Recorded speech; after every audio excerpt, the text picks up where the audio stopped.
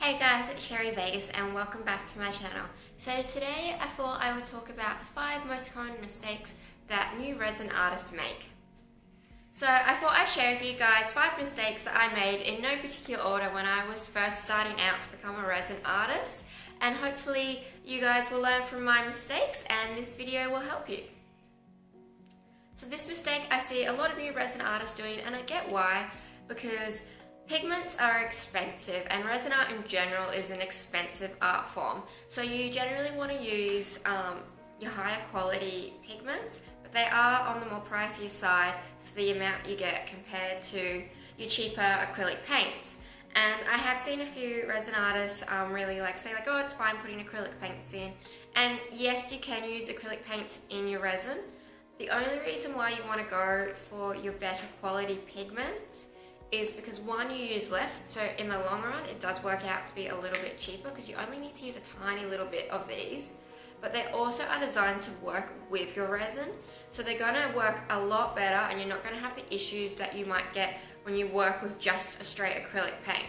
So what I found when I use just acrylic paint in my resin is one, the color payoff is not that strong, so I generally have to add more than what I would of this, and when I add more of my acrylic paints into my resin, I either get two things.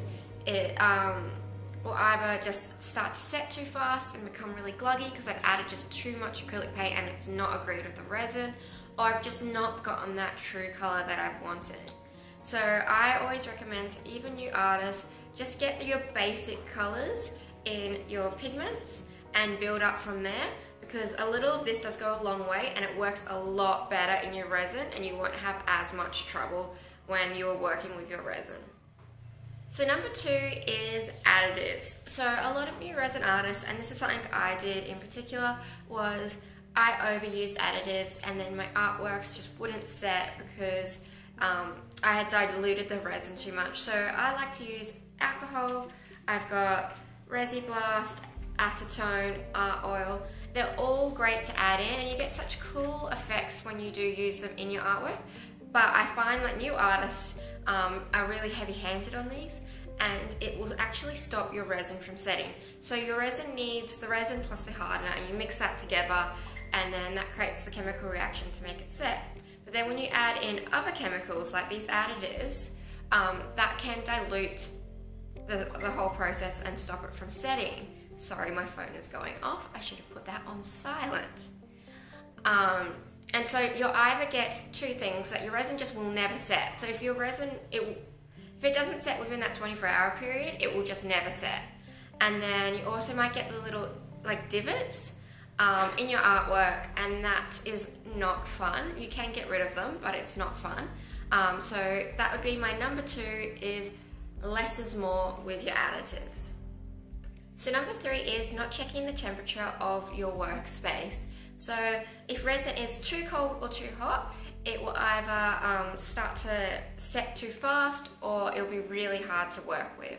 So you ideally want it to be at 60, sort of late 60s to 72 Fahrenheit and around 23 to around 26 Celsius. Hold on, let me check that. 23, yep, to 25 Celsius. Um, so that's basically like quite nice room temperature. I have done this a lot because it is in Australia and my new studio space does not have air conditioning. So I either have to work really early in the morning or really late at night in summer just because during the middle of the day my studio heats up so much that it's too hot. Yes, I am going to get air conditioning.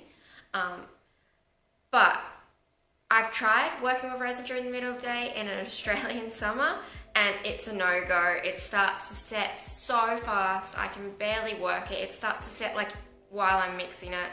So definitely make sure you check your room temperature or pick the right time of day to work when you are working with your resin. When you first start working with your boards, you tend to want to use quite a lot of resin because you feel like you need to. What I would recommend is taping around your board, and then just using a little bit at a time and really making that resin go across your surface of your board. I teach resin workshops and a lot of the time the students just want to keep loading and loading resin on and then as soon as they take the tape off, it all just pours off the sides. Um, so make sure you go and check out resin calculators for the size of your board and that way you only use what you actually need to use. But when you're a new artist and you're working with a new medium, you tend to want to overuse the product. But then what you have happen is most of it just drips off the side and you've got a lot of waste. So just go and check out resin calculators. They're on most um, places that sell resin and you can work out how much you need for the size of board you need and once you get more used to it, then you stop using the calculators because you can kind of just know by eye. So my last piece of advice to you guys to make sure you become a better artist and don't do the same mistakes that I've done in the past is make sure your tabletop and your board is level. So go and get yourself one of those little doobie wacky things. What leveler? Are they called levelers or the, with the little liquidy stuff in it? Or the app that you can get on your phone, but I think the one you get from the hardware shop is much more accurate.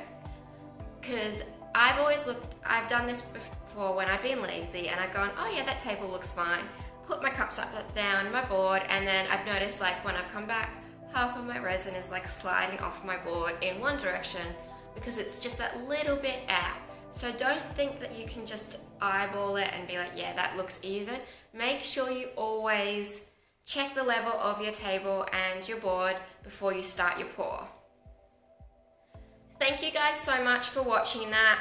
If you have any other mistakes that you guys have made in the past, feel free to leave it in the comment box below so others can have a look. And if you like this video, make sure you give it a big thumbs up because it really does help me out knowing what content to make you guys. And if you don't follow me already, go and follow me on my other social medias as I post different things that you don't get to see here. And I also have all of my workshop dates on my website.